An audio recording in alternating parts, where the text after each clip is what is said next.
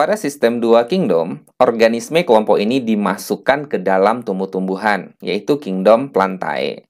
Namun seiring dengan perkembangan ilmu pengetahuan, diketahui bahwa organisme kelompok ini tidak mampu melakukan fotosintesis karena tidak memiliki klorofil. Dan untuk memperoleh nutrisi dilakukan secara saprofit dan parasit.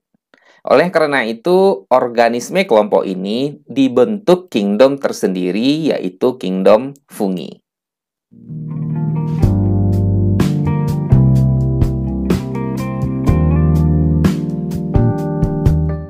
Assalamualaikum warahmatullahi wabarakatuh. Kembali lagi pada materi kriptogami. Pada video kali ini kita akan membahas tentang jamur atau cendawan dengan pokok bahasan tentang pengenalan jamur secara umum.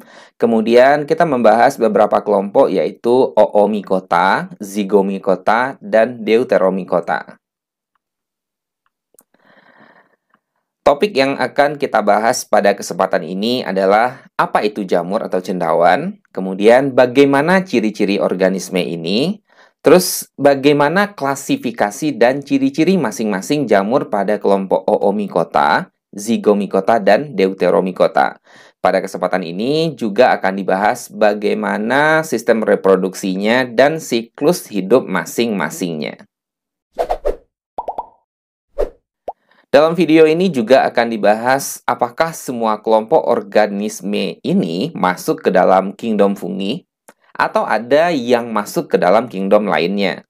Protista mungkin, atau pada kelompok jamur yang kita bahas ini masih dipertahankan kelompoknya atau sudah dipindahkan ke dalam kelompok lain.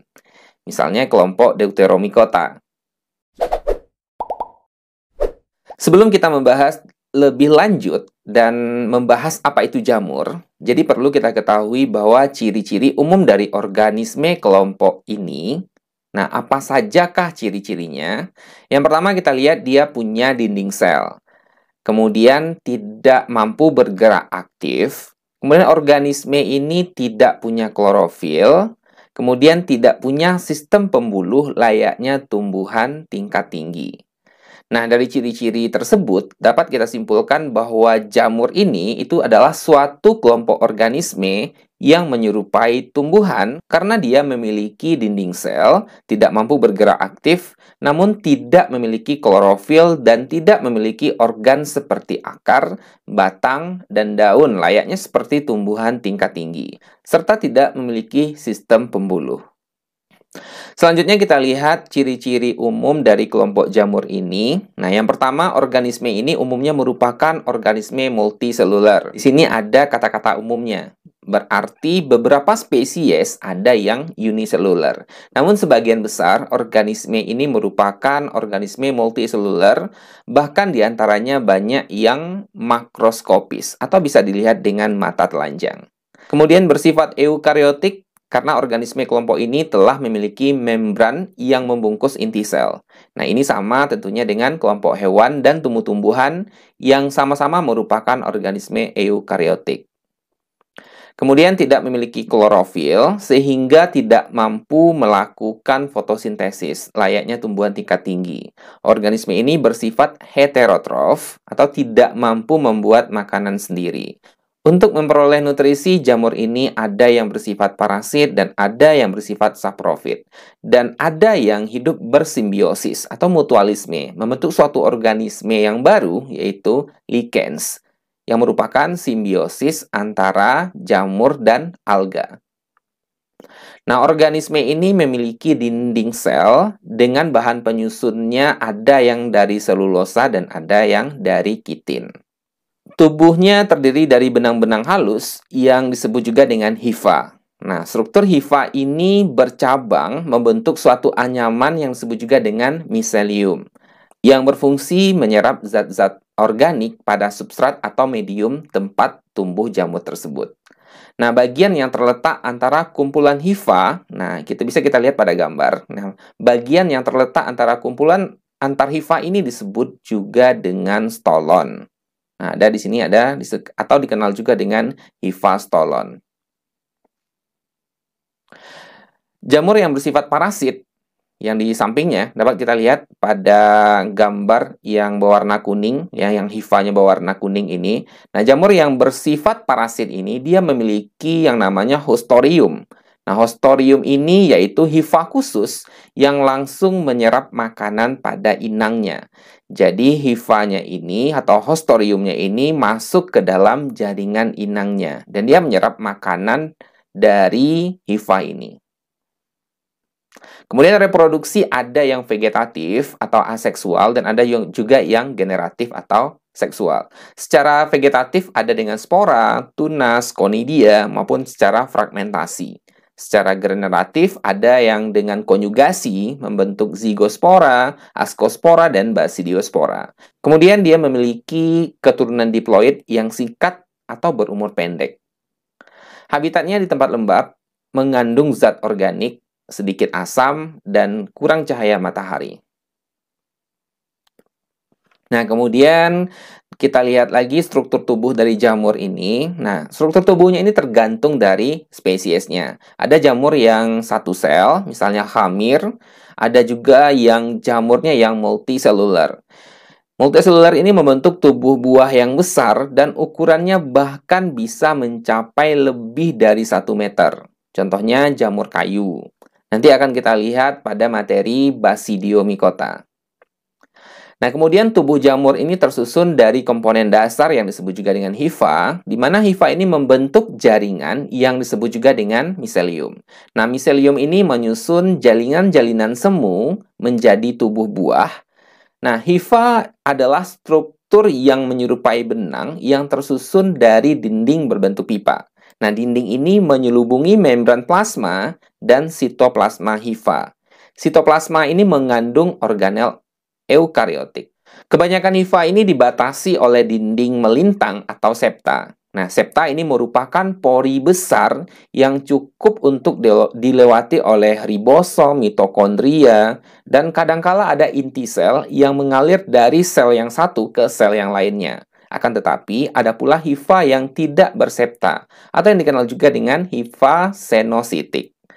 Hifa pada jamur yang bersifat parasit biasanya mengalami modifikasi menjadi hostoria yang sudah kita bahas sebelumnya, yang merupakan organ penyerap makanan dari substratnya. Hostoria ini dapat menembus jaringan pada substrat.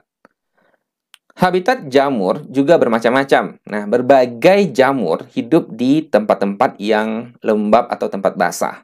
Ada yang di sampah, ada di sisa-sisa organisme, atau ada yang hidup di dalam tubuh suatu organisme. Nah, banyak pula jenis-jenis jamur yang hidup pada organisme atau sisa-sisa organisme di laut atau di air tawar. Jamur juga dapat hidup di lingkungan yang asam, misalnya pada buah yang asam atau pada lingkungan dengan konsentrasi gula yang tinggi. Misalnya pada selai. Nah, biasanya itu setelah sekian lama ada ditumbuhi oleh ya seperti putih-putih ya, seperti miselium. Nah, itu adalah jamur yang tumbuh pada selai tersebut. Jamur yang bersimbiosis dengan alga atau ganggang ini dikelompokkan ke dalam suatu kelompok tersendiri yaitu lichens atau yang dikenal juga dengan lumut kerak. Walaupun sebenarnya dia tidak ada hubungan sama sekali dengan lumut ya atau dengan bryopita, tapi karena bentuk dari organisme ini menyerupai lumut, makanya dia dikenal juga dengan lumut kerak. Organisme simbiosis ini dapat hidup pada kondisi lingkungan yang ekstrim atau habitat yang tidak biasa, di mana organisme lain tidak mampu tumbuh dan berkembang seperti di daerah gurun, gunung salju, daerah kutub, atau daerah yang habis kena bencana, habis uh, letusan gunung berapi, dan lain-lain. Jenis jamur lainnya juga dijumpai hidup pada tubuh organisme. Nah, baik secara parasit maupun secara simbiosis. Ada yang parasit pada hewan, manusia, dan ada juga yang parasit atau yang hidup pada jaringan tumbuhan. Jamur juga hidup pada lingkungan yang bermacam-macam. Ada yang berasosiasi dengan organisme, meskipun kebanyakan hidup di darat, beberapa jamur ada yang hidup di air dan berasosiasi dengan organisme yang hidup di air. Jamur yang hidup di air ini bersifat parasit dan saprofit dan kebanyakan dari kelas Oomycetes. Beberapa jenis agen parasit yang umumnya ditemukan menginfeksi ikan air tawar yaitu Trichodina, kemudian ada Odinium, kemudian ada Saprolegnia, kemudian ada Branchiomycosis, dan kemudian ada Ichthyoponus. Jenis jamur yang paling berbahaya di lingkungan perairan, bahkan belum ada obatnya, adalah jamur Myxobolus karena dapat menyebabkan tingkat kematian hingga 100% dalam waktu 1 sampai 2 minggu. Nah, pada gambar dapat kita lihat ini adalah contoh dari Trichodina sp. Nah, yang menyerang sirip ikan seperti sirap ikan ada yang putih-putih biasanya dan lama-kelamaan itu akan menghabiskan atau menutupi seluruh bagian tubuh dari ikan. Kemudian ada juga yang di bawah kita lihat itu adalah Myxobolus yang hidup pada kepala ikan di sini, kemudian yang hidup pada mulut ikan, kemudian pada insang, dan selanjutnya nanti juga bisa menyebabkan kematian pada ikan. Penyebaran jamur dapat melalui agensi-agensi seperti angin, air, burung, serangga, hewan lain, dan juga tentunya manusia. Nah, jamur ini disebarkan dalam bentuk spora. Penyebaran spora pada hampir semua jamur ini berlangsung secara pasif. Angin merupakan salah satu agensia penyebar spora yang paling utama atau yang paling banyak. Angin ini dapat membawa spora jamur ini bukan hanya jarak dekat tapi juga bahkan sampai jarak jauh. Nah, kemudian untuk jamur tertentu ini dapat juga disebarkan melalui perantara air dan serangga. Seperti apa yang telah dijelaskan sebelumnya, manusia bisa menjadi perantara dalam proses penyebaran jamur, terutama jamur-jamur yang bersifat parasit. Nah, menurut kawan-kawan semua, kira-kira jamur parasit apa sajakah yang dapat menyebar melalui perantara manusia ini? Dan bagaimana proses penyebarannya? Mungkin ada beberapa spesies jamur yang kawan-kawan ketahui saat ini, atau jangan-jangan ada di tubuh kawan-kawan. Canda kawan. Nah, bagaimana pendapat eh, kawan-kawan uh, semua? Silahkan ditulis saja di kolom komentar. Cara hidup jamur lainnya adalah melakukan simbiosis, menyerap makanan dari organisme lain yang menghasilkan zat tertentu yang bermanfaat bagi simbionnya. Untuk contoh, simbiosis mutualisme jamur dengan tumbuhan adalah dapat kita lihat pada mikoriza, yaitu jamur yang hidup di akar tumbuhan tingkat tinggi. Biasanya simbiosis ini terletak di dalam sistem perakaran tumbuhan. Ada juga jamur yang bersimbiosis dengan jamur lainnya, akan tetapi sebutan mikoriza ini biasanya ditujukan untuk jamur yang melakukan simbiosis dengan tumbuhan. Bentuk simbiosis ini terutama adalah simbiosis mutualisme, Meskipun ada beberapa kasus yang dapat berupa simbiosis yang parasitisme. Mikoriza dapat dibagi menjadi dua kelompok berdasarkan cara menginfeksinya, yaitu ektomikoriza dan endomikoriza. Ektomikoriza menginfeksi permukaan luar tumbuhan dan di antara sel-sel ujung akar. Akibat simbiosisnya, terlihat jalinan miselia berwarna putih pada bagian rambut-rambut akar. Dikenal juga sebagai jala hartik. Infeksi jamur ini dapat menyebabkan perubahan morfologi akar. Akar-akarnya memendek, membengkak, bercabang dikotom, dan dapat membentuk pigmen. Infeksivitas tergantung isolat dan kultivar dari tumbuhan inang. Tumbuhan inang biasanya tumbuhan tahunan atau pohon.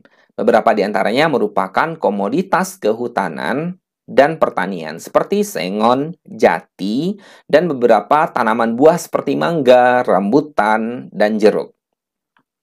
Nah, sedangkan endomikoriza ini menginfeksi bagian dalam akar, di dalam dan di antara sel-sel ujung akar atau root tips. Nah, hifa masuk ke dalam sel atau mengisi ruang-ruang antar sel. Nah, jenis mikoriza ini banyak ditemukan pada tumbuhan semusim yang merupakan komoditas pertanian penting, seperti kacang-kacangan, padi, jagung, beberapa jenis sayuran, dan tanaman hias. Infeksi ini tidak menyebabkan perubahan morfologi akar, tetapi mengubah penampilan sel dan jaringan akar. Nah, pada gambar yang di bawah dapat kita lihat bedanya Kalau yang sebelah gambar ini ya, gambar yang di bawah, kalau sebelah kirinya kita ini, ini dapat kita lihat bahwa ini merupakan ektomikoriza. Dia hanya berada atau menyelubungi bagian sel. Kemudian kalau pada bagian kanan kita lihat yang saya tunjuk ini, ini merupakan endomikoriza. Karena dia menginfeksi atau masuk ke dalam bagian akar dari sel-sel uh, simbiosisnya atau sel-sel tumbuhan ini. Nah, simbiosis antara jamur dan tumbuhan ini ini dikenal juga dengan simbiosis mutualisme atau sama-sama menguntungkan. Menurut kawan-kawan semua, apa sih keuntungan untuk jamur ini dan apa pula keuntungan yang diperoleh oleh tumbuhan saat mereka melakukan proses simbiosis? Silahkan kembali ya kawan-kawan tulis pendapat kawan-kawan di kolom komentar. Oke, kita tinggalkan pembahasan pengenalan jamur secara umum. Sekarang kita masuk ke pembahasan lebih lanjut untuk jamur-jamur yang akan kita bahas. Ada tiga kelompok utama yang kita bahas hari ini. Yang pertama kita lihat dulu kelompok Oomycota. Nah, nama jamur air yang diberikan berdasarkan fakta bahwa kelompok ini tumbuh dengan baik dalam kondisi kelembapan yang tinggi atau dengan adanya air. Dalam bahasa Inggris dikenal juga dengan water mole karena alasan tadi yaitu kebiasaannya yang dapat tumbuh dengan baik, dapat hidup dengan baik dalam kondisi kelembaban yang terbilang tinggi, bahkan berair. Nah, organisme kelompok ini dikenal juga dengan fungi telur. Hal ini berdasarkan kata oomycota, berarti fungi telur. Istilah ini didasarkan pada cara reproduksi seksual pada jamur ini. Nah, beberapa ahli ini memasukkan ke dalam kelompok Prostista uniselular yang berfilamen. Kemudian bersifat mikroskopik karena tidak bisa dilihat dengan mata telanjang. Namun kalau hifanya, ini kalau hifanya sudah banyak, itu bisa kita lihat dengan mata telanjang. Oomycetes yang meliputi jenis-jenis jamur lendir uniselular yang membentuk benang-benang miselium yang bercabang-cabang. Jamur ini memiliki dinding sel yang tersusun dari selulosa. Nah, ini yang membedakannya dengan jamur lainnya, karena dinding sel jamur lain atau jamur sejati ini tersusun dari polisakarida dan kitin. Yang membedakan jamur air dengan jamur sejati adalah sel biflagellata yang terjadi pada daur hidup jamur air. Sementara jamur sejati tidak memiliki flagella. Kemudian hidup bebas dan melekat pada sisa-sisa tumbuhan di kolam, danau, atau aliran lain. Organisme ini juga hidup sebagai pengurai dan hidup dengan cara berkoloni. Beberapa jenis ada yang bersifat saprofit sebagai dekomposer dan ada juga yang bersifat parasit pada tanaman air dan hewan air. Untuk reproduksi aseksualnya pada Oomycetes yang hidup di air dengan zoospora berflagel 2. Sedangkan yang hidup di darat ini dengan sporangium dan conidium. Reproduksi seksualnya dengan oogami. Selnya membentuk struktur yang mengandung sel telur dan struktur yang membentuk sel sperma. Ada yang hidup di insang atau di sirip ikan yang terluka sebagai parasit. Hifanya tidak bersekat melintang atau senotik. Kemudian berdasarkan ciri-ciri tersebut, Oomycota ini dikelompokkan ke dalam kingdom Protista, bukan fungi. Hal ini didasarkan pada perbedaan ciri-ciri kelompok Oomycota dengan fungi yang ada pada umumnya atau fungi sejati. Misalnya pada oomycota ini dinding selnya tersusun atas selulosa, sedangkan fungi sejati ini dinding selnya tersusun atas kitin. Kemudian dalam fase vegetatif dari pergiliran keturunan, sel-selnya memiliki inti diploid atau 2N pada oomycota, sedangkan pada fungi sejati dalam fase vegetatif dari pergiliran keturunannya, sel-sel ini memiliki inti haploid atau N. Kemudian dalam siklus hidupnya, ini pada oomycota ya, dalam siklus hidupnya selnya memiliki dua flagela yang tidak sama panjang. Sedangkan fungi sejati dalam siklus hidupnya tidak terdapat atau tidak ada memiliki flagela. Jadi selnya tidak ada yang memiliki flagel.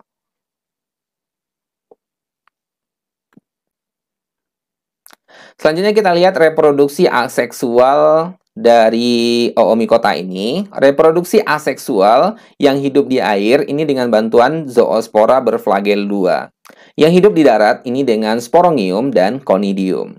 Reproduksi seksualnya dengan oogami. Selnya ini membentuk struktur yang membentuk sel sperma. Nah, kemudian kita lihat bagaimana reproduksi aseksual pada oomycota. Silakan kita fokus ke fase aseksualnya. Ini bermula dengan adanya zoosporangium 2N, ya bisa kita lihat ya, yang saya tunjuk ini zoospora 2N yang berada pada ujung hifa yang terbentuk dari benang atau hifa yang membengkak.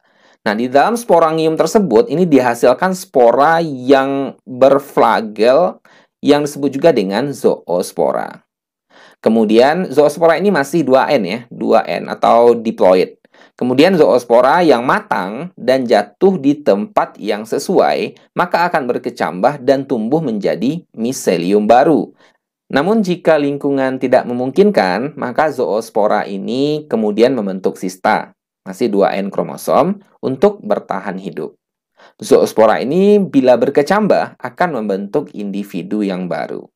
Nah, itu adalah fase aseksual dari kelompok Oomycota. Nah, sekarang kita lihat reproduksi seksualnya.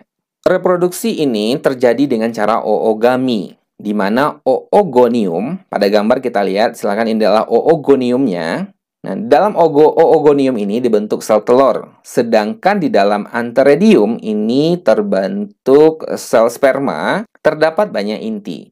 Jika anteredium bersatu atau menempel dengan oogonium, maka akan menghasilkan saluran fertilisasi yang akan menembus oogonium dan menyediakan jalan bagi perpindahan inti. Bisa dilihat-lihat gambar ini.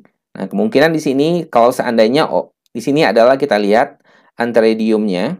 Nah, antredium ini menempel, ini sudah menempel pada oogonium. Dan nantinya di dalamnya ini ada kita lihat tonjolan kecil dan ini merupakan tonjolan atau saluran fertilisasi yang nantinya akan menembus oogonium. Dan ini nanti adalah jalan untuk perpindahan dari inti. Nah, kemudian uh, berlanjut ke pembuahan. Jadi, uh, sel telur ini menghasilkan zigot di mana zigot ini mempunyai dinding yang tebal dan tahan pada kondisi yang tidak menguntungkan seperti udara dingin atau kekeringan. Selanjutnya zigot ini setelah terjadi fertilisasi, zigot atau oospora yang 2N kromosom ini akan berkembang menjadi uh, oospora atau zigotnya akan berkembang. Selanjutnya akan mengalami fase istirahat. Nah, intinya mengalami reduksi dan selanjutnya tumbuh menjadi individu baru. Di mana individu baru ini bermula sebenarnya ada inti berinti empat, tetapi selanjutnya dia akan berinti banyak. Dalam proses selanjutnya dia akan terus membelah. Selanjutnya zigot akan mengalami germinasi atau perkecambahan untuk terjadinya pembebasan zigot yang dapat mengalami pembelahan meiosis untuk menghasilkan individu-individu lainnya. Nah, selanjutnya dapat kita lihat di sini adalah contoh dari oomycota. Nah, di mana yang pertama kita lihat ada saprolegnia parasitika. Ini parasit pada ikan dan telur-telur ikan. Nah, dapat kita lihat di sini pada ikan hias, ikan mas ini ada saprolegnia parasitika. Dia akan berwarna putih Nah, biasanya ini terdapat pada ikan hias ataupun ikan di kolam dan ini lama-kelamaan juga akan menyebabkan kematian pada ikan. Kemudian ada Pitium debarianum. Nah, Pitium debarianum ini menyebabkan busuk pada kecambah. Biasanya kalau kita menanam uh, suatu biji, kemudian bijinya akan tumbuh dan berkecambah, Kemudian pada pangkal batang, nah jika pada pangkal batangnya itu mengering atau membusuk, nah ini biasanya disebabkan oleh Pitium debarianum. Kemudian ada Phytophthora infestan yang merupakan parasit yang menyerang tanaman kentang, tomat, dan tanaman lainnya. Kemudian ada Phytophthora faberi. Nah, ini yang menimbulkan penyakit biasanya pada tanaman karet itu pada bekas luka dari sadapan karet. Nah, misalnya bekas luka tersebut adanya hifa-hifa atau yang berwarna putih, ya biasanya ini juga menyebabkan bagian dari uh, yang telah kita lukai itu juga tidak menghasilkan getah lagi. Bagian kulit karet tersebut itu bisa menyebabkan busuk atau rusak. Ya, bahkan kalau dibiarkan dalam waktu yang lama ini bisa juga menyebabkan kematian pada pohon karet. Kemudian selanjutnya ada Plasmopora viticola. Nah, Plasmopora viticola ini dapat kita lihat pada gambar. Ini biasanya menyebabkan uh, rusaknya pada tanaman anggur atau dia merupakan parasit pada tanaman anggur. Nah, biasanya pada buah anggur kita lihat ada bagian tertentu yang putih-putih ya, sehingga buah anggur, nah ini, atau putik anggur ini tidak berkembang atau dia tidak bisa menjadi pertumbuhannya tidak maksimal sehingga bisa menyebabkan busuk pada buah anggur tersebut. Kemudian ada Pseudoperanospora cubensis. Nah, ini merupakan parasit pada tanaman mentimun. Nah, bukan hanya tanaman mentimun, biasanya juga pada kelompok kukurbitaceae lain, seperti labu, ya, kemudian ada semangka, dan lain-lain. Kemudian ada Abulgo candida. Nah, ini Abulgo candida yang pada bagian bawah ya. Ini merupakan parasit pada tanaman kol atau tanaman kubis dan kelompok famili Cruciferae yang lainnya. Biasanya ini biasanya menyebabkan pada daun itu ada seperti bercak-bercak kuning ya. Ini bisa menyebabkan daun jadi rusak sehingga terhambatnya proses fotosintesis yang terjadi pada daun. Selanjutnya kita lihat peranan dari oomycota dalam kehidupan. Organisme-organisme ini mempunyai sifat ekonomis yang tidak begitu penting, namun bisa dibilang bermanfaat untuk skala mikro. Misalnya ada ini namanya saprolegnia. Nah, saprolegnia ini hidup uh, sebagai saprofit pada bangkai-bangkai ikan atau bangkai-bangkai hewan di air. Dengan demikian, dengan adanya jamur ini, ini akan berdampak positif bagi lingkungan perairan. Kalau tidak, tentunya akan terjadi penumpukan bangkai-bangkai itu di dalam perairan, baik bangkai hewan maupun sampah-sampah.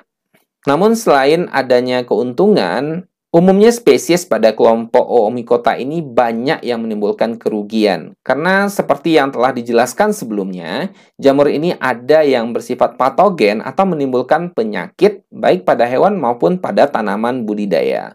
Beberapa spesies lainnya yang termasuk ke dalam kelompok Oomycota yaitu ya tadi juga sudah kita bahas ya, Saprolegnia, ini parasit juga pada ikan. Kemudian ada Sclerospora maedis, penyebab penyakit bulai pada jagung. Kemudian ada Phytophthora nicotiane yang hidup parasit pada tanaman tembakau.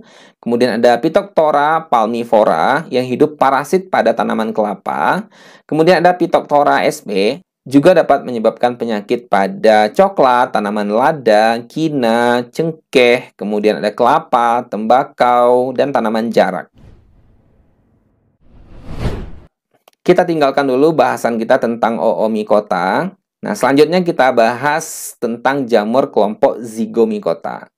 Nama Zygomicota ini berasal dari jenis perbanyakan diri seksual, terutama pada pembentukan zigospora. Nah, jamur ini dinamakan Zygomicota karena membentuk spora istirahat yang berdinding tebal yang disebut juga dengan zigospora. Zigospora ini merupakan hasil peleburan menyeluruh antara dua gametangium yang sama atau yang berbeda. Zygomicota ini terdiri dari benang-benang hifa yang bersekat, tetapi ada pula yang tidak bersekat. Jamur ini bersifat senositik, yaitu hifa yang mengandung banyak inti dan tidak mempunyai sekat melintang. Jadi hifanya berbentuk satu tabung halus yang mengandung protoplas dan banyak inti, serta dapat membentuk struktur dorman yang bersifat sementara yang disebut juga dengan zigospora. Pada saat ini sudah dikenal sekitar 600 jenis zygomicota. Seluruh jamur zygomicota ini menghasilkan spora non-motil atau aplanospora dan tidak menghasilkan spora kembara atau zoospora. Hal ini menunjukkan kemajuan dari jamur primitif yang hidup di air menjadi jamur yang mampu hidup di darat. Nah, dapat dikatakan bahwa zygomicota ini ini merupakan evolusi dari oomycota yang sudah kita bahas sebelumnya. Habitat zygomicota ini banyak ditemukan di tempat lembab yang kaya akan bahan organik. Sebagian bersifat saprofit dan sebagian lagi ada juga yang bersifat parasit pada manusia, hewan, dan tumbuhan. Tipe-tipe hifa dari zigomikota, ada tiga tipe hifa pada zigomikota. Nah, yang pertama itu adalah stolon, di mana hifa yang membentuk jaringan pada permukaan substrat yang menghubungkan dua kumpulan sporangium. Nah, dapat kita lihat pada gambar ya. Ini ada hifa atau stolon yang menghubungkan dua kumpulan dari sporangium. Kemudian ada rhizoid. Nah, rhizoid yaitu hifa yang menembus substrat untuk menyerap makanan. Ini merupakan hifa rhizoid, ya yang saya tunjuk ini hifa rhizoid dan ini merupakan hifa yang berfungsi untuk menempel pada substrat ya atau uh, menempel pada permukaan substrat atau memberikan tempat tegak ya pada substrat dan juga berfungsi sebagai penyerap makanan. Kemudian ada uh, sporangiospor. Nah, sporangiospor ini merupakan hifa yang tumbuh tegak pada permukaan substrat dan memiliki sporangia globular atau berbentuk bulat di ujung-ujungnya. Nah, umumnya mempunyai rhizoid yang berguna untuk melekat pada substrat. Kemudian kromosom dalam talus ini bersifat haploid. Kemudian penyusun uh, dinding sel utamanya adalah kitin atau citosan. Zigomikota sebagian besar merupakan jamur terestrial yang hidup sebagai saprofit di tanah, di makanan, atau pada sisa-sisa tumbuhan dan hewan. Nah, jamur zigomikota ini ada yang hidup sebagai parasit pada manusia dan tumbuhan sehingga menyebabkan penyakit pada manusia dan tumbuhan tersebut. Jenis jamur zigomikota lainnya yang hidup bersimbiosis atau saling menguntungkan dengan organisme lainnya Misalnya dengan ganggang hijau biru atau ganggang hijau, ini membentuk lumut kerak atau lichens. Dan dengan tumbuhan tingkat tinggi, ini membentuk mikoriza. Kemudian kita lihat reproduksi pada zigomikota. Nah, reproduksi secara seksualnya ini membentuk spora khusus yang disebut juga dengan zigospora. Kemudian dengan cara konjugasi yaitu antara hifa positif dan hifa negatif yang masing-masing ini bersifat haploid. Dapat kita lihat di sini, ini merupakan hifa positif dan hifa negatif yang saling bersatu. Dalam proses selanjutnya ini akan membentuk uh, zigosporangium. Kemudian secara aseksual dia menggunakan spora dalam sporangium yaitu sporangiospor. Spora bersel satu ini terbentuk di dalam kantung yang disebut juga dengan sporangium di ujung hifa khusus atau sporangiospor. Selain itu juga reproduksi aseksualnya menggunakan klamidospora yaitu spora bersel satu yang berdinding tebal yang sangat resisten terhadap keadaan yang buruk yang terbentuk dari sel-sel hifa somatik. Nah, dinding sel yang tebal dan protoplasnya ini berubah menjadi cadangan dan seluruh sel berfungsi sebagai spora istirahat. Kemudian reproduksi aseksualnya, bila dinding sporangium ini melarut, maka sporangium ini dibebaskan. Nah, dapat kita lihat di gambar ya. Nah, bila dinding sporangium ini melarut, maka sporangiospor ini akan dibebaskan. Nah, sporangiospor ini akan berkecambah dan menjadi organisme dengan hifa somatik. Nah, ujung uh, ujung sporangiospor ini berkembang menjadi sporangium yang berisikan banyak sekali sporangiospor. Selanjutnya kita lihat reproduksi seksualnya, di mana reproduksi seksual ini mensyaratkan adanya dua lawan jenis yang serasi. Misalnya ada uh, yang berperan sebagai hifa yang positif ya atau ke kemudian juga ada yang berperan sebagai hifa yang negatif. Kedua tipe ini bersentuhan satu dengan yang lainnya, kemudian akan terbentuk progametangium. Kemudian terjadinya septum di dekat ujung setiap uh, progametangium yang memisahkannya menjadi dua sel gametangium dan sel supensor. Nah, kemudian dinding kedua gametangium yang bersentuhan itu akan melarut pada titik sentuh. Kedua protoplasma ini akan mengalami uh, pencampuran atau yang dikenal juga dengan nama plasmogami atau prosesnya disebut juga dengan plasmogami. Kemudian uh, nukleus yang positif yang berperan sebagai positif dan yang negatif tadi akan mengalami peleburan. Nah, peleburan ini dikenal juga dengan proses kariogami untuk menghasilkan banyak nukleus zigot. Nah, kemudian struktur yang mengandungnya ini dinamakan juga dengan senozigot. Ya, jadi struktur-struktur yang mengandung dari zigot ini ini dinamakan dengan senozigot. Dinding yang mengelilingi senozigot ini menebal dan permukaannya menjadi hitam dan berkutil-kutil. Nah, kita lihat aja di sini ya. Menghitam dan berkutil-kutil, maka terbentuklah zigospora yang tetap dorman dalam waktu satu kira-kira 1 sampai 3 bulan. Nah, setelah berkecambah, terbentuklah organisme baru Kemudian meiosis berlangsung selama proses perkecambahan. Berdasarkan pembahasan yang telah kita bahas tadi, nah dapat kita simpulkan bahwa ciri-ciri dari zigomikota ini yaitu menghasilkan zigospora sebagai hasil reproduksi generatifnya. Hifanya memiliki hifa bersekat dengan banyak inti sel, kemudian tidak mempunyai tubuh buah. Beberapa hifa berdiri tegak serta membentuk spora ngiospor. Pada ujung sporangiospor ada sporangium berbentuk bulat. Di dalam sporangium yang berwarna kehitaman ini ada spora vegetatif. Nah, bisa melakukan reproduksi secara generatif atau seksual, serta bisa juga melakukan reproduksi secara vegetatif atau aseksual. Kemudian hifanya bisa berfungsi untuk menyerap makanan. Bagian penyerap makanan ini dikenal juga dengan nama rhizoid. Kemudian spesies dari jamur ini tahan pada kondisi lingkungan yang buruk atau kondisi lingkungan yang tidak baik. Misalnya dalam kondisi lingkungan yang sangat kering.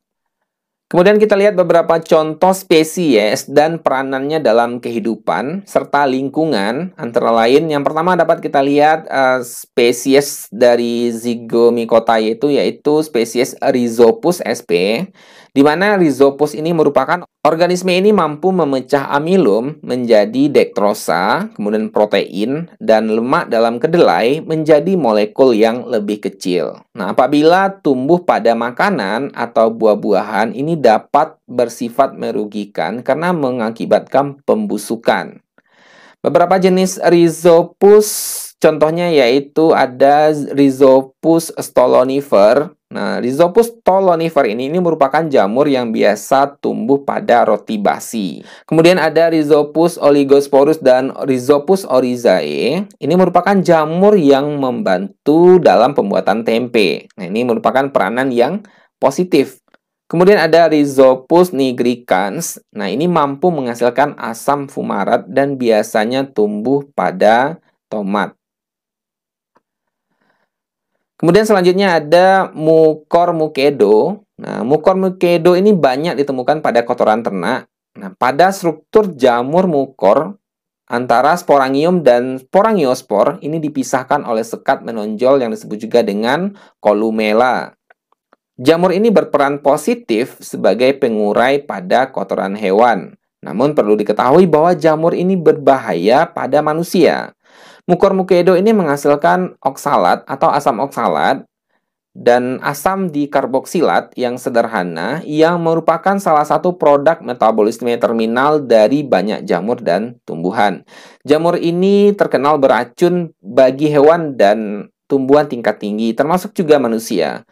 Karena efek korosif lokalnya dan afinitasnya terhadap ion kalsium yang bereaksi dengan kalsium oksalat untuk membentuk kristal kalsium yang tidak larut dalam air. Jadi mukor mukedo ini juga menghasilkan alfa toksin yang diketahui menyebabkan kanker hati dan komplikasi pada pencernaan, kantong kemih, endokrin, hematopoietik, kemudian sistem reproduksi dan peredaran darah lainnya. Kemudian ada mukor hiemalis Mukor ini sering menyebabkan kerusakan pada makanan, tetapi sebaliknya, beberapa spesies juga digunakan dalam proses fermentasi makanan. Dalam proses pembuatan keju dan dalam proses pembuatan makanan-makanan oriental lainnya. Nah, kapang yang satu ini, ini termasuk fungi multiseluler yang mempunyai filamen yang pertumbuhannya pada makanan ini mudah dilihat karena penampakannya yang berserabut-serabut seperti kapas, yaitu hifanya ya. Kemudian pertumbuhannya yang mula-mula yang akan berwarna putih, tetapi jika sporanya sudah timbul, maka akan terbentuk warna hitam. Selanjutnya kita lihat uh, spesies lainnya itu Pilobolus sp. Nah, sporangium dari Pilobolus ini berbentuk seperti balon bertangkai yang ujungnya terdapat spora yang berwarna hitam. Terdapat lapisan kristal kalsium oksalat yang melingkupi sporangium yang berperan Terdapat lapisan kristal kalsium oksalat melingkupi sporangium yang berperan dalam mekanisme pertahanan diri dan penempelan saat berada di medium buatan. Nah, peristiwa terlontarnya spora ini bergantung pada tekanan turgor dari sporangium. Saat tekanan turgor telah mencukupi, sporangium ini akan menembakkan sporanya ke arah datangnya cahaya.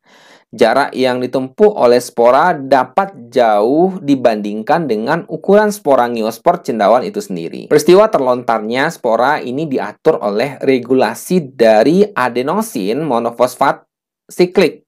Nah, regulasi ini terjadi bila terdapat glukosa pada lingkungan.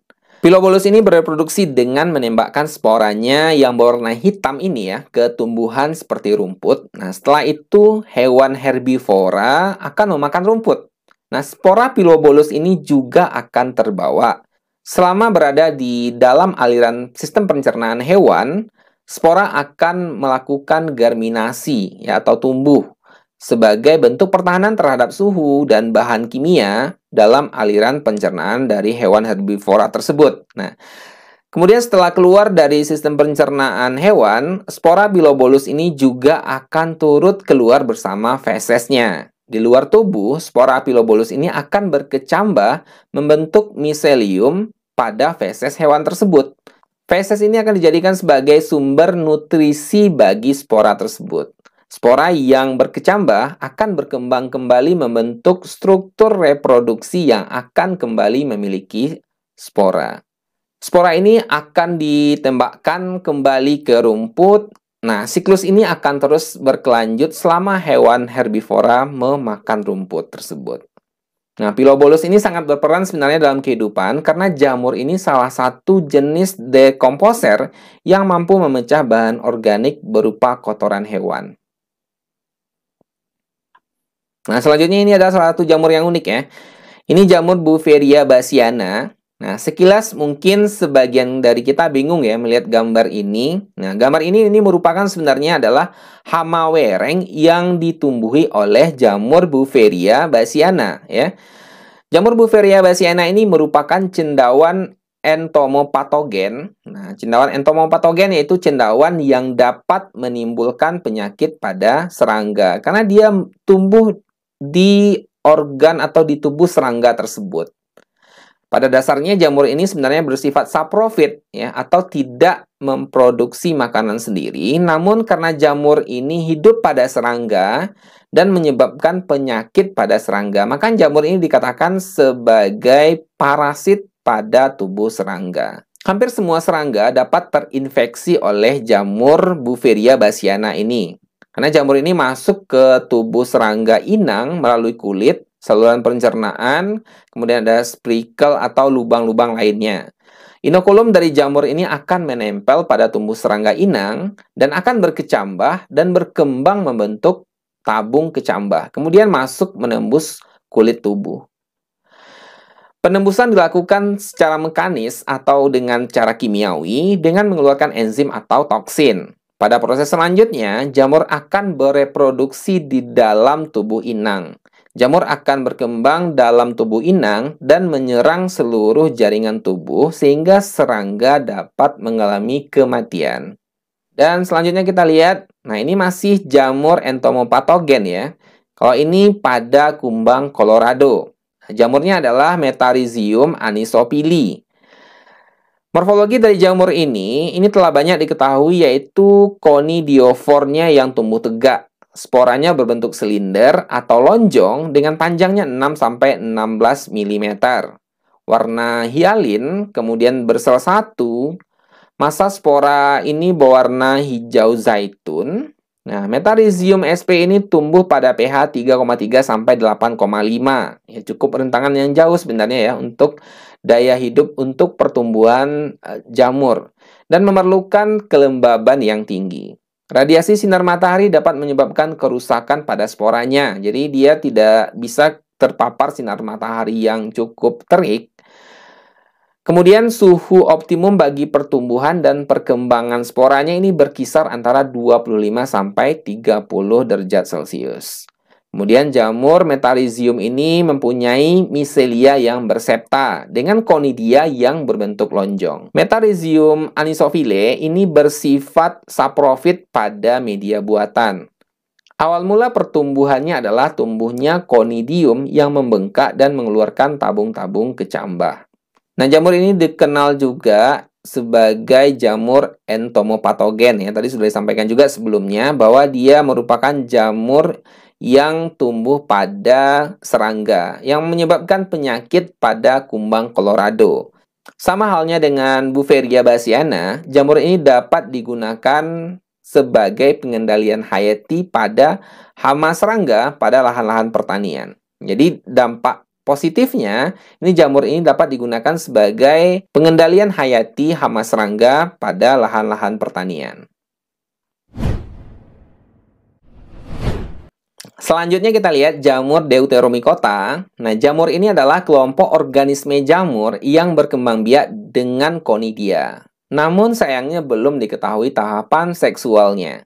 Tidak ditemukan askus maupun basidium sehingga tidak termasuk ke dalam jamur ascomycota atau basidiomycota.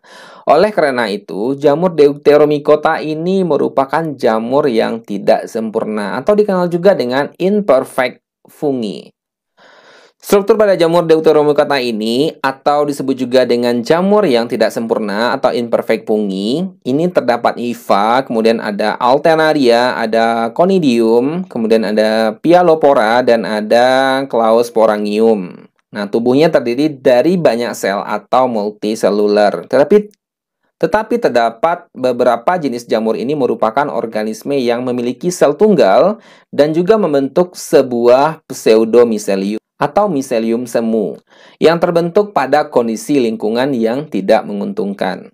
Banyak yang bersifat parasit atau merusak yang mengakibatkan penyakit pada hewan-hewan ternak, manusia, serta tanaman budidaya. Sebagian besar adalah mikroskopis, artinya tidak dapat diamati dengan mata telanjang. Kemudian hidupnya secara saprofit maupun juga secara parasit. Pada jenis-jenis tertentu juga ditemukan hifa bersekat dengan sel yang berinti satu. Namun dia dominannya adalah berinti banyak. Reproduksi pada Deuteromycota seperti apa yang telah kita sampaikan sebelumnya bahwa untuk reproduksi jamur ini dilakukan secara aseksual karena perkembangbiakan secara seksualnya ini belum diketahui. Reproduksi aseksualnya terjadi dengan menghasilkan konidia serta menghasilkan hifa khusus yang disebut juga dengan konidiofor. Rekombinasi genetik masih bisa terjadi pada jamur ini, sehingga jamur ini disebut juga dengan paraseksualitas. Siklus paraseksualitas ini merupakan proses pengiriman material genetik tanpa melalui pembelahan meiosis terlebih dahulu.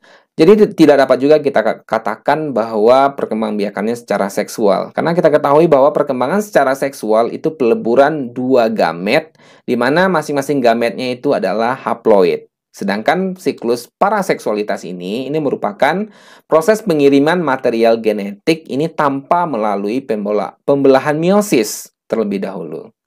Deuteromycota ini dapat hidup pada lingkungan yang asam. Misalnya pada buah yang asam, jamur Deuteromycota ini dapat hidup pada lingkungan dengan konsentrasi gula yang tinggi. Jamur ini juga hidup dapat Jamur ini juga dapat hidup bersimbiosis dengan alga, membentuk lichens atau lumut kerak yang dapat hidup pada habitat yang beragam. Nah, jamur ini karena dia bersimbiosis dengan lumut kerak tadi, maka dia bisa hidup pada kondisi yang ekstrim juga. Kemudian habitat jamur ini berada di darat umumnya atau terestrial, di tempat-tempat yang lembab dan hidupnya itu saprofit. Meskipun demikian, banyak pula jenis jamur ini yang hidup pada organisme atau sisa-sisa organisme di laut atau di air tawar. Jamur ini dapat juga tumbuh pada habitat yang ekstrim, ya seperti misalnya di gurun atau di salju, ya, dan ada yang terdapat juga di kutub, ya. Kemudian beberapa jenis jamur lainnya juga dapat hidup pada tubuh organisme lain, baik secara saprofit maupun secara parasit. Ada juga yang hidup secara simbiosis. Jamur ini bersifat saprofit di banyak jenis materi organik. Kemudian dia parasit pada tanaman tingkat tinggi dan perusak tanaman budidaya dan tanaman hias. Menimbulkan penyakit pada manusia seperti kurap, panu, ya. Kemudian jamur ini juga dapat menyebabkan pelapukan pada kayu. Salah satu contoh jamur Deuteromycota adalah Monila sitopila, yaitu jamur yang digunakan dalam pembuatan oncom. Selanjutnya kita lihat peranan dari jamur kelompok Deuteromycota ini. Yang pertama kita lihat dulu peranan positifnya. Tadi sudah disampaikan ya bahwa Monila cytophila ini digunakan untuk pembuatan oncom. Kemudian ada Penicillium chrysogenum yang digunakan dalam industri antibiotik. Kemudian ada Penicillium notatum, ini penghasil antibiotik seperti penicillin. Nah, kemudian ada Penicillium roqueforti dan Penicillium comemberti yang sering digunakan dalam proses pembuatan keju. Pada gambar kita lihat, nah ini ada beberapa gambar, ini Monila, ya, kemudian ada Monilia cytopila. Pada gambar kita lihat ada Monilia cytopila dan ini ada Penicillium, dua gambar di bawah. Nah, dapat kita lihat bahwa dia memiliki konidia, di atasnya ini adalah konidia-konidianya. Kemudian ada Aspergillus niger untuk menjernihkan sari buah. Ya, kalau kita membuat sari buah biasanya kan itu uh, keruh ya. Jadi untuk menjernihkan uh, sari buah itu bisa kita menggunakan Aspergillus niger. Kemudian ada Aspergillus oryzae yang digunakan untuk melunakkan adonan roti. Kemudian ada Aspergillus wentii yang digunakan dalam proses pembuatan kecap, toco, sake, dan asam oksalat. Bisa kita lihat gambar-gambarnya di bawah ya. Gambar Aspergillus oryzae, Aspergillus niger dan Aspergillus wentii. Kemudian peranan negatifnya di sini peranan negatif dari jamur kelompok Deuteromycota ini, ini kita lihat ada epidermopiton flocosum dan ini menyebabkan kutu air biasanya pada sela-sela jari ya baik jari kaki maupun e, jari tangan ya. Nah, kemudian ada beberapa di sini kita lihat contoh jamur dan peranan negatifnya baik itu pada manusia maupun pada e, tumbuhan. Misalnya penyakit layu fusarium, ini disebabkan oleh Fusarium oxysporum yang merupakan penyakit yang sering menjadi kendala pada tanaman budidaya tomat. Nah, patogen ini menginfeksi jaringan pembuluh tanaman sehingga menyebabkan terjadinya penghambatan dan penyerapan air dan unsur hara lainnya.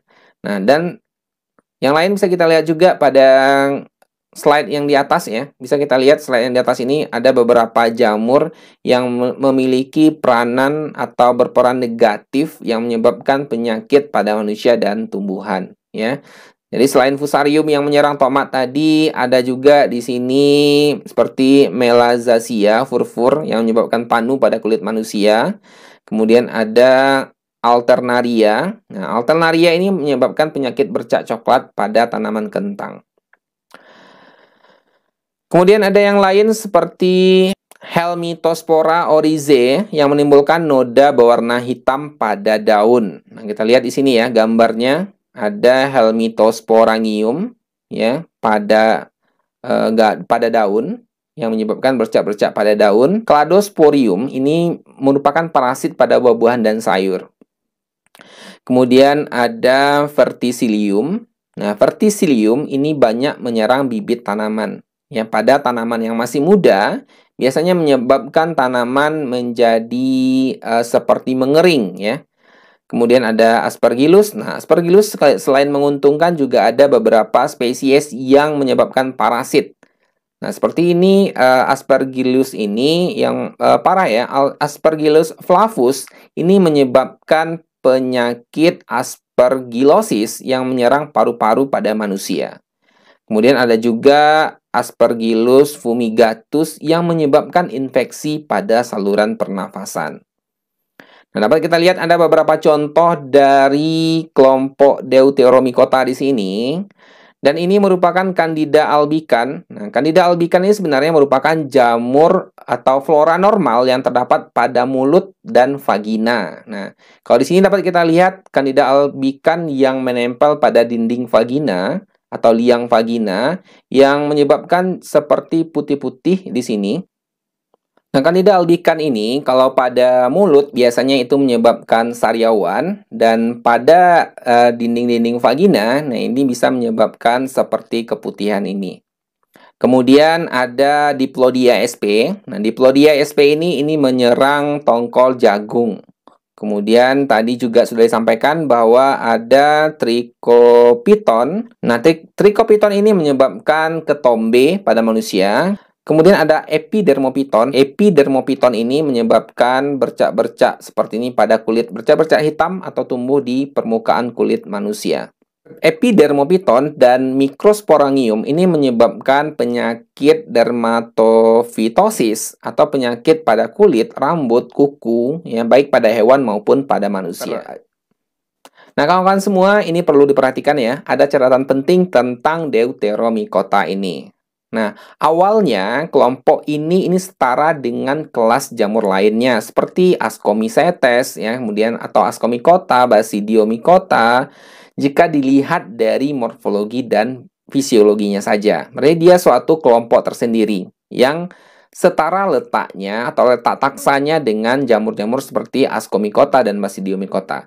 Namun, semenjak 1990-an, takson dari Deuteromycota ini sudah tidak ada lagi. Ya, karena spesies yang tergolong ke dalam Deuteromycota ini ini dimasukkan ke dalam kelas lainnya, ini sesuai dengan ciri morfologi dan fisiologinya.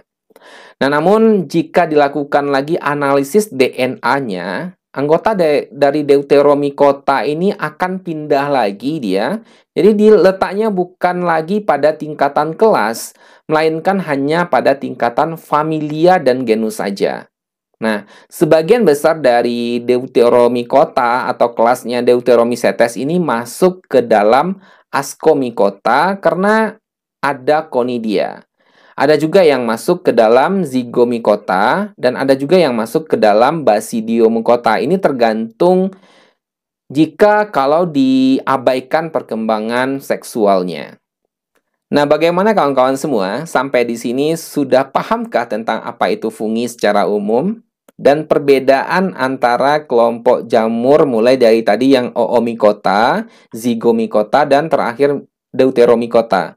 Dan juga harus dipahami juga ya, kenapa Deuteromycota itu sudah tidak ada lagi. Kemudian ada yang dipindahkan ke dalam Ascomycota, dipindahkan ke Zygomycota. Ada yang sebagian dari ada yang beberapa spesiesnya juga dipindahkan ke dalam Basidiomycota. Jadi itu perlu dipahami ya. Kemudian spesial juga untuk jamur yang dikelompokkan ke dalam Deuteromycota tadi. Nah, contoh-contoh spesiesnya akan di temukan juga nanti saat kita membahas jamur ascomycota dan basidiomycota. Nanti jangan kaget ya. Kenapa ini temukan juga nih ya? Padahal sebelumnya kita sudah membahas bahwa jamur tersebut masuk ke dalam deuteromycota. Nah, ini saat kita nanti membahas askomikota dan basidiomikota, jangan kaget ya. Nanti kalau kita menemukan contoh-contoh spesies yang sudah kita masukkan atau sudah kita bahas sekarang ini, juga masuk nanti ke dalam askomikota dan basidiomikota.